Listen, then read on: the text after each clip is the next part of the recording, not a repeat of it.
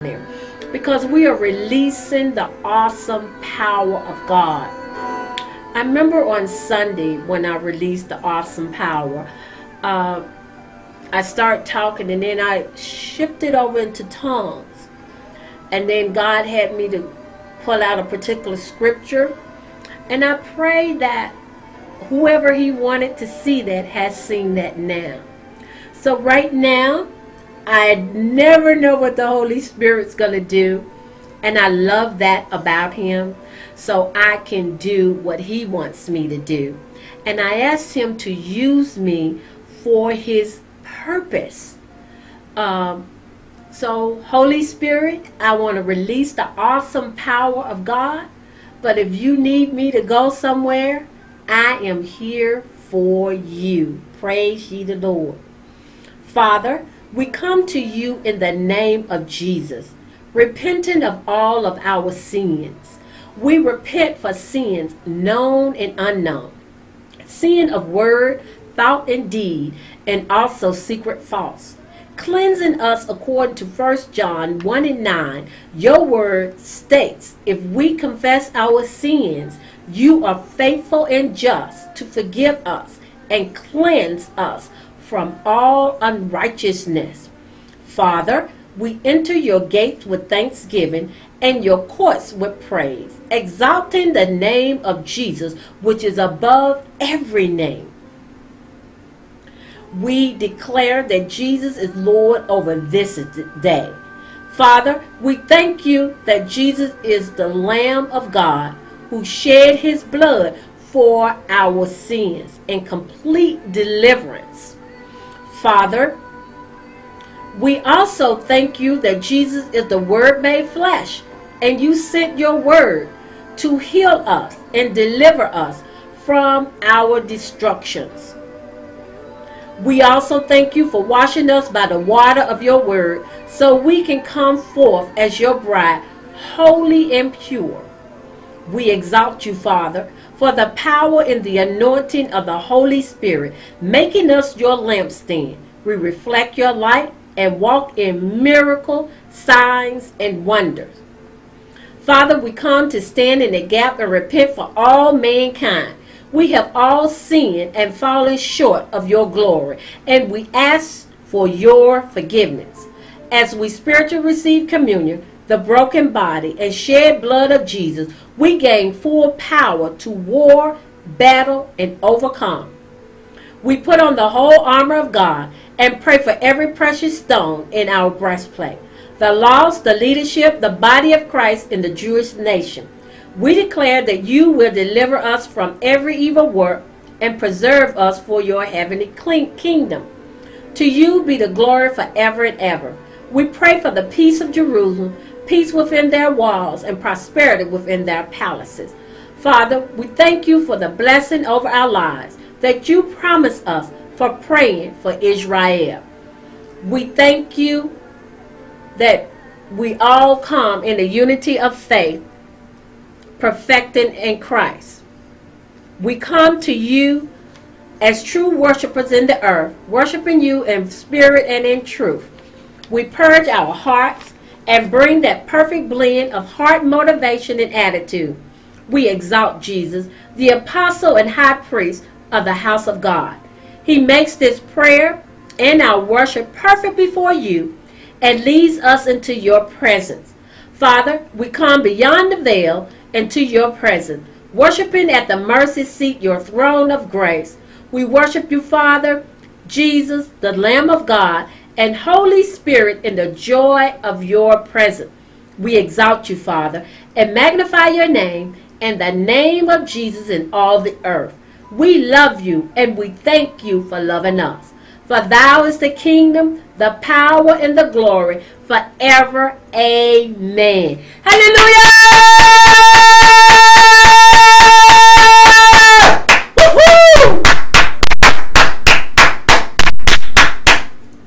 Welcome, welcome to Jesus Delivery International Ministry Prophetic Bible Study. We just read the re- we just released the awesome power of God within the broadcast studio tonight.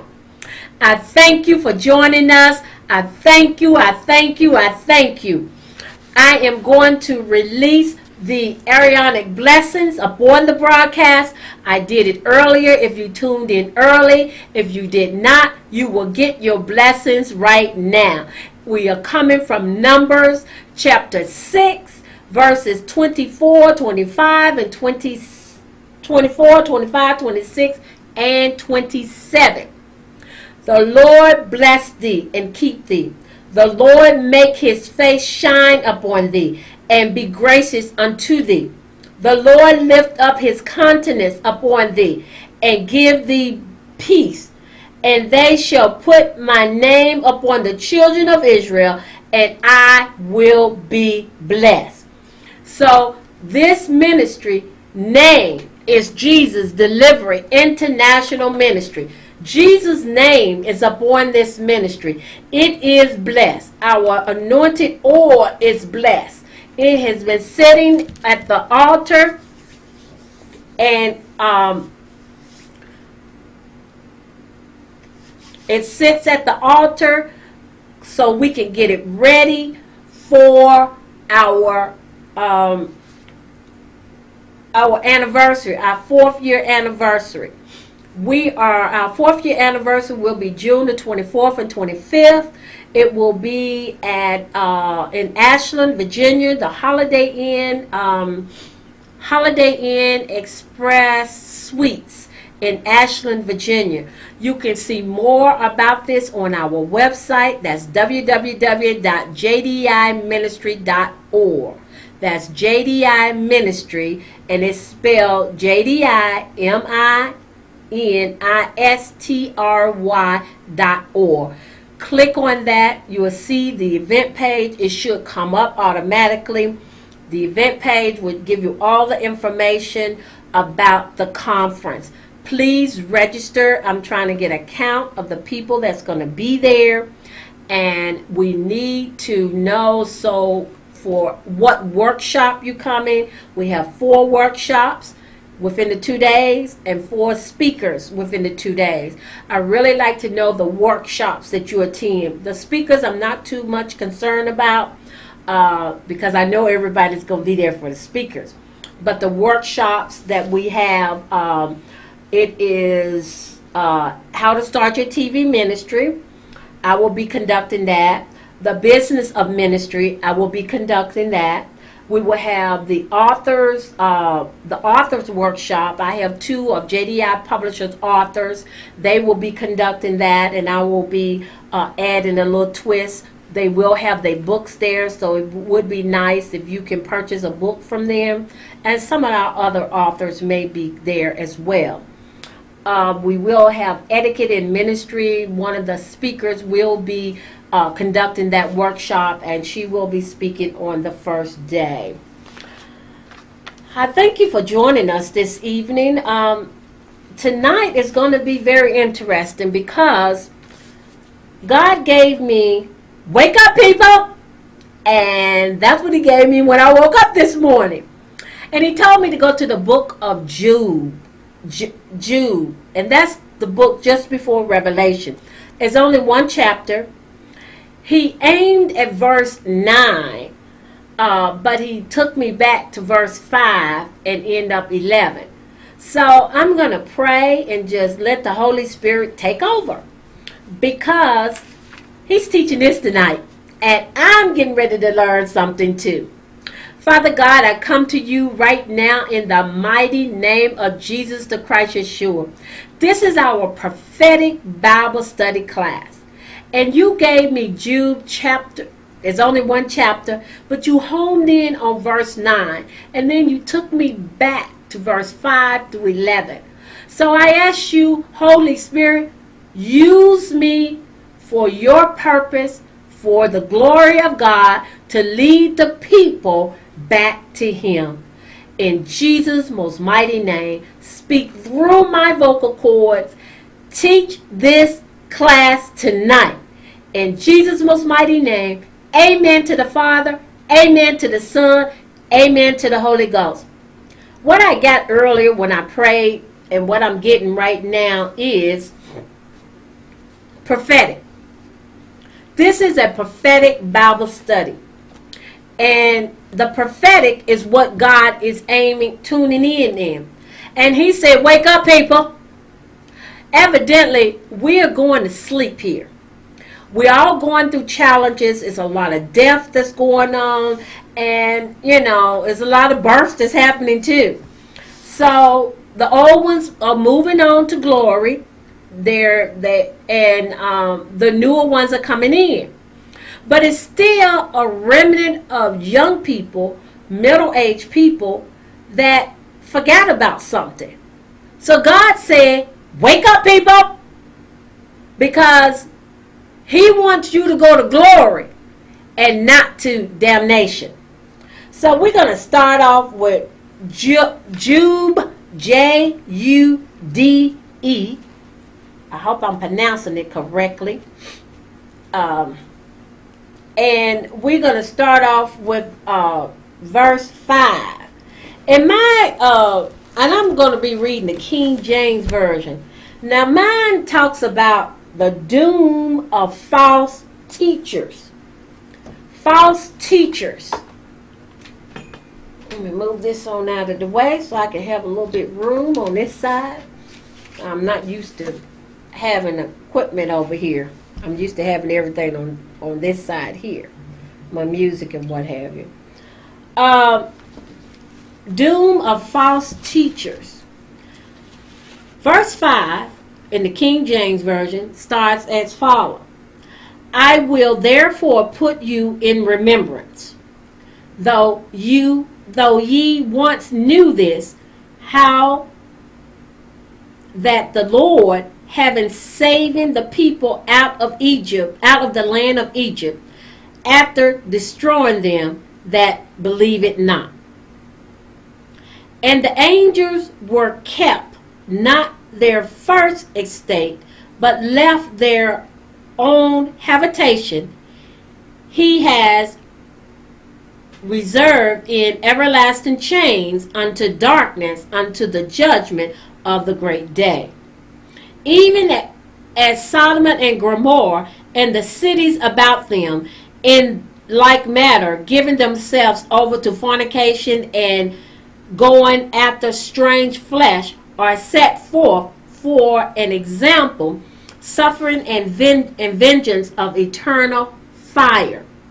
Likewise, also these filthy dreamers defile the flesh, despise dominion, and speak evil of diligently. Yet Michael, the archangel, when contending with the devil, he disputed about the body of Moses durst not bring against him a railing accusing, but said, The Lord rebuke thee. But these speak evil of those things which they know not, but what they know naturally as beasts in those things they corrupt themselves. Woe unto them, for they have gone in the way of Cain and ran greedily after the error of Babylon for reward and Persian in the gainslaying of Kor. Perished in the gainslaying of Kor. God is saying right here that we need to wake up. He is saying that the people we have been taken out of Egypt, we have been placed into the promised land, and yet we going back and doing things that are not of God. These are the false teachers. These he's talking about the church here. He wants us to wake up and smell the coffee. Wake up and hear what thus saying the Lord. Stop going back to Egypt. Stop going back in the ways that is not of God. God took you away from that place. He took you away from that hellish situation. Don't go back to it. He has destroyed a whole city because of them going into uh, their own fleshly matters, things of darkness. Uh, I went into Romans. Um, let's go there because he's taking me there. Wow. He's speaking right now. He's speaking right now. I, I, remember going into the book of Romans and the first chapter.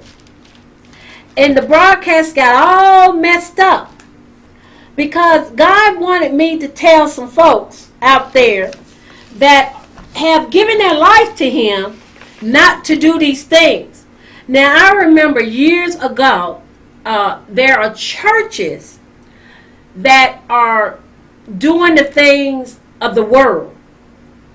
Uh, let's read uh, Romans chapter 1, verse 24. Wherefore God also gave them up to uncleanness through the, the lust of their own flesh, to dishonor their own bodies between themselves.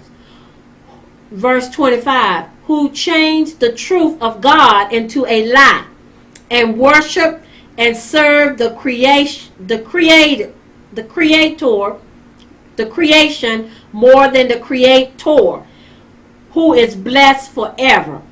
Amen. For this cause, God, 26, God gave them up unto vile affection, for even their women did change the nat the nature, the natural use unto that which is against nature.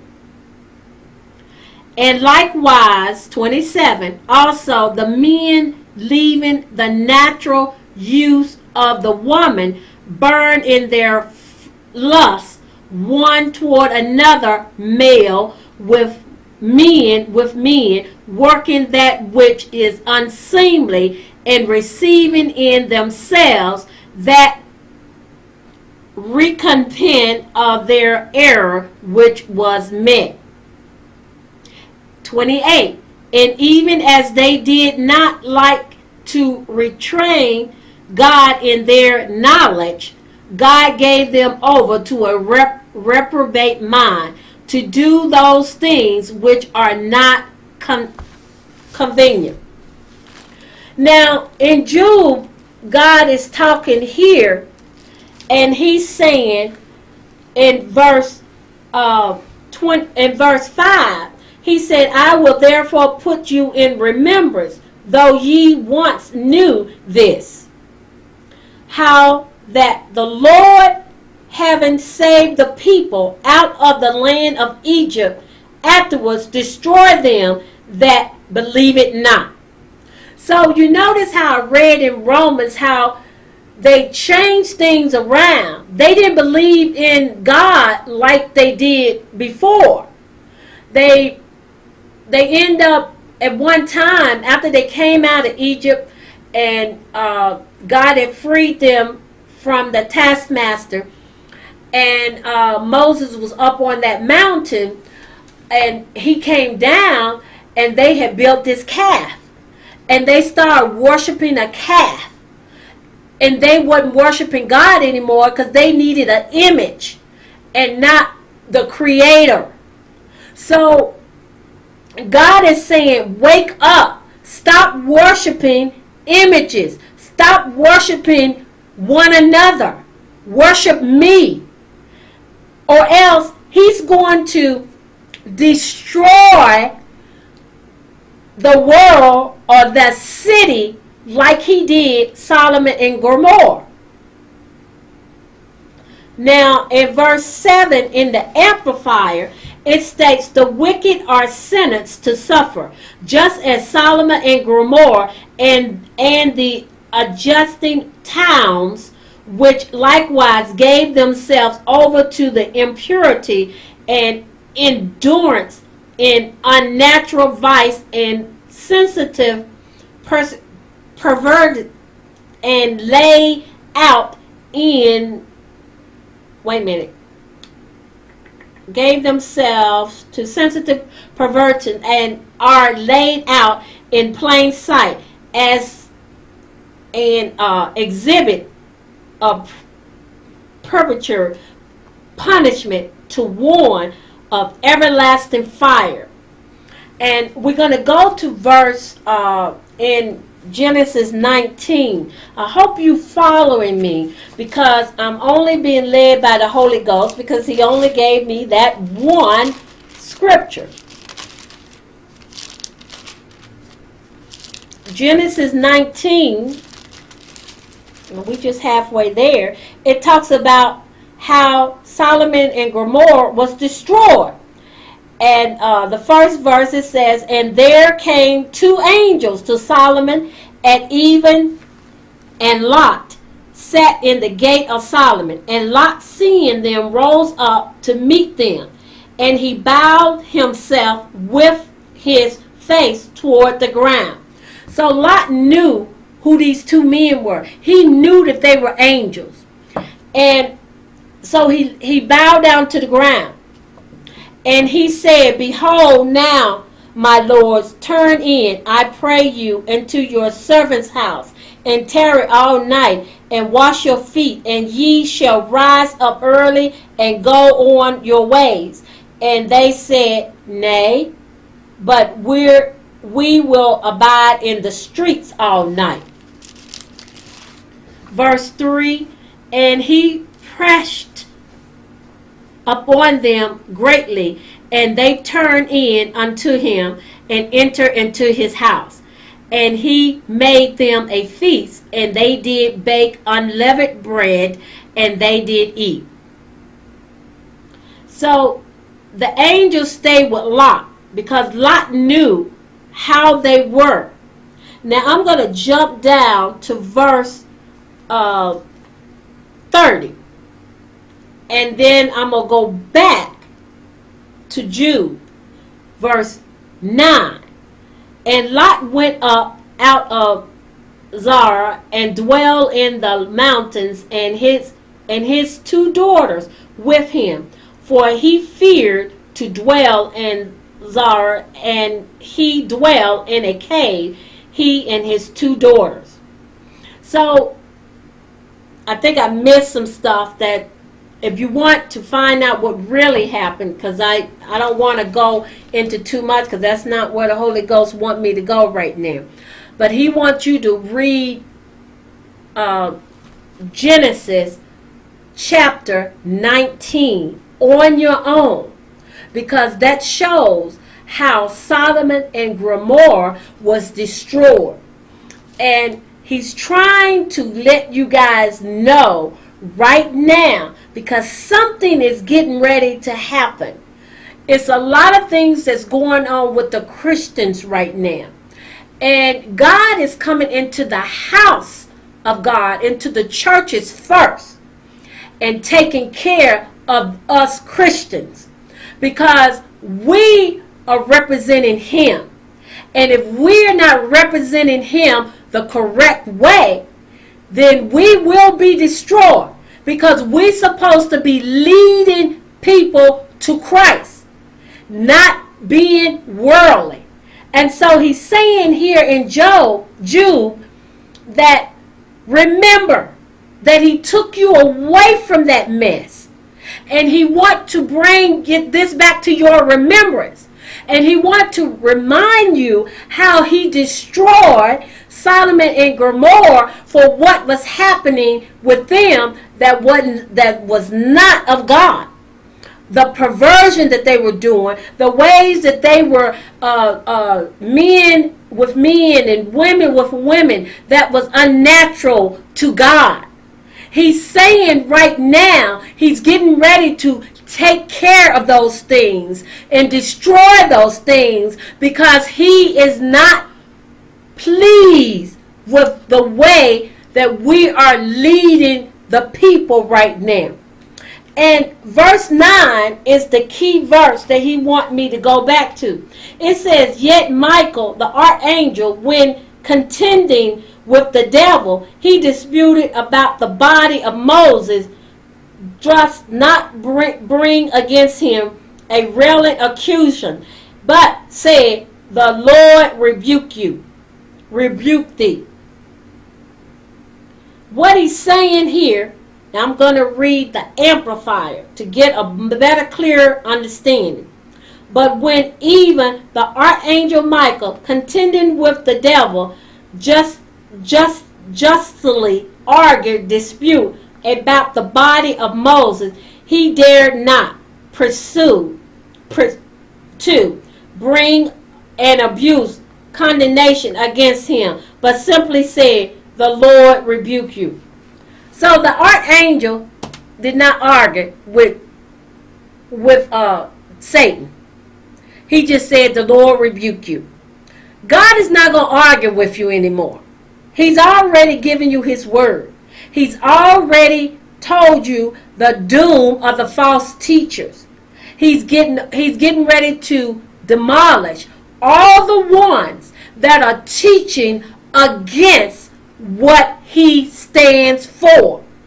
So get ready, people of God, church leaders that are speaking against the Word of God, that are teaching people against the Word of God, that you are male with male, female with female, in an unnatural way. If you are doing these things, God will rebuke you. He will take you out. He's giving you time to Repent. Repent for what you're doing. And you have to do it from the heart, not from just speaking it. You have to speak it with your heart, just like we getting ready to do Romans 10, 9, and 10. God is saying to stop teaching falsely. God is saying to teach the people the word of God, the true word of God. Come out of your sin. Come out of your mess. He's giving you your last opportunity. And next, he's going to start rebuking you. He's going to start cutting you down. He's going to start revealing you to the world. And he's going to cut you off. God is saying right now to stop false teachers to stop teaching the people wrongly. He is tired. He is tired. He is tired. And it's time for you to come out of your sin and do what thus said the Lord. He has taken you out of Egypt. You went to Sodom and Gomorrah, and he will destroy your ministry. He will destroy everything that is not of him that's trying to represent themselves as godly and they are not doing a godly work. He's getting ready to destroy you like Solomon and Gomorrah. Let's pray. Father God, I come to you in the mighty name of Jesus the Christ. Wake up, people. God is saying, wake up, repent, turn from your wicked ways. Stop leaders teaching your people all wrong things, all the things that's not of God. Stop living in that sin. God is tired of it. And he's saying, come out of it. Come out of it. Come out of it now. He's rebuking you. Just like the archangel uh, Michael rebuked Satan, the devil, he is rebuking you now in the mighty name of Jesus the Christ. He said, Come out of that sin, repent, or he's going to destroy you like Sodom and Gomorrah was destroyed. Read Genesis 19. Find out how you going to be destroyed because God is not playing anymore. Father God, I ask the people to have an ear to hear what the Spirit of the living God is saying on this prophetic Bible study night. I thank you I thank you. I thank you for your word. Wake up, people, because God ain't playing. In Jesus' most mighty name, amen to the Father, amen to the Son, and amen to the Holy Ghost. Before I leave, I am going to Romans 10, 9 and 10. God is asking you to come in. Wake up from that situation. Come on out of that mess and do what thus said the Lord. Repent from your wicked ways and turn yourself back to him and not to the devil. Romans 10, 9 and 10. If you are here for the first time and you heard this message, and you have an ear to hear what the Spirit of the living God is speaking in your spirit, and you are ready to give your life to Christ, read this scripture. This is a salvation script. This will save your life. You will not go to hell. You will go to heaven. You will be walking on the streets of gold. You will be with Jesus himself. But you have to believe. When you say this, you have to say it from your heart. You have to mean it. And God will take you home with him. Uh, Romans 10, 9 and 10, verse 9, that if thou shalt confess with thy mouth the Lord Jesus and shall believe in the heart that God has risen him from the dead, thou shalt be saved. For with the heart man believe unto righteousness, and with the mouth confession is made unto salvation. So if you believe that scripture, if you believe what you just said, you are saved. And you need to email me at apostlejimmie at gmail.com and I will connect you with the right Bible believing church. Not the ones that's living and giving false teaching, but the ones that are give, living and giving the true word of God. Let's give the Aaronic benediction. The Lord bless thee and keep thee. The Lord make his face shine upon thee and be gracious unto thee. The Lord lift up his countenance upon thee and give thee peace. And they shall put my name upon the children of Israel, and I will be blessed. You are a blessed person for looking at this Jesus Delivery International Internet Ministry Prophetic Bible Study. Take this word into your heart, take into your mind, go back and read the chapters that I told you to read and go back and read Jude, uh, uh, that whole chapter and see what God is putting in your spirit so you can do what thus said the Lord. Tune in next Wednesday night with our prophetic Bible study at 7:30 p.m. I have no idea what God's going to give me, but you will if you tune in. On Sunday at 10 a.m., go to our Jesus Delivery International Ministry channel. If you on mystreamingvideo.net, you can click on that and go and to find the channel that has a goal 2016 that is our Jesus Deliver International Ministry. We broadcast every Sunday morning live at 10 a.m. And then we um, we end up recording it. So if you don't get it at 10, you can always get any of our pre-recorded ones. And there's a lot of videos up on our pre-recorded ones that you can see. I thank you for tuning in tonight and God bless you.